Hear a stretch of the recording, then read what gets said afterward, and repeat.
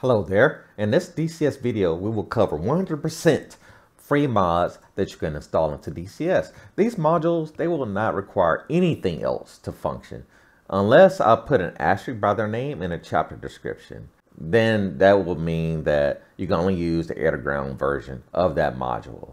Let's get into it. The first module is the infamous A4 Skyhawk, forever free edition for DCS. This is one of the very first modules I downloaded for DCS and oh boy was I just blown away by this one.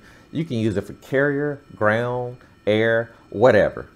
This module is a community favorite and for very good reason. Our second module is the A29B. Recently, this module has made a very nice impact in the community. Not only is it very well done and has a tremendous amount of effort, care, and love poured into it, but is also open source, includes extremely detailed MFD pages, and also a working FLIR. This first module I know of that has this, so this is very, very important. Definitely, I highly recommend checking out this module. Our next module is the UH 60 Blackhawk. This module is extremely detailed and has made a huge impact in DCS. Make sure you check this module out. As you can see, a lot of love and effort was poured into this module. The cockpit, everything is, is the detail rivals of full fidelity paid DCS module. I can't recommend this module enough for checking out, especially if you're into helicopters.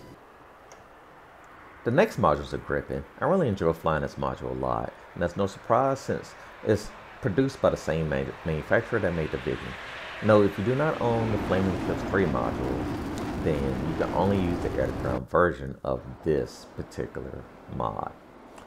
Also, make sure you check out the team's Discord they've been working on the cockpit textures and it's looking really really great. I hope they release that soon. I've been waiting on them to release that since that will further enhance this module i believe.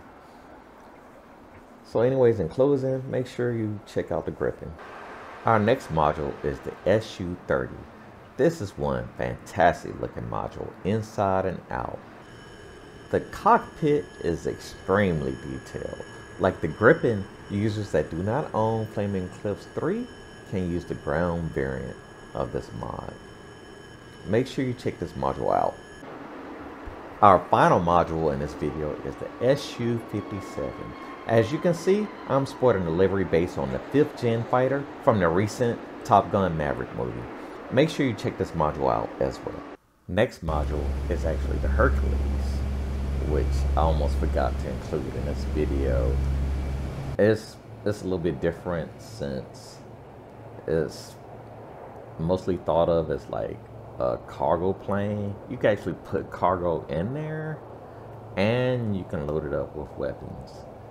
Shame on me for almost forgetting to include this module in this video.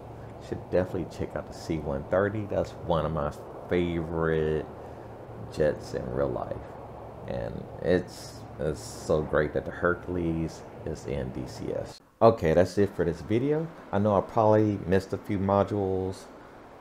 If so, feel free to let me know in the comments. The future is very bright for DCS. Hopefully we'll be covering a lot more 100% free modules in the future.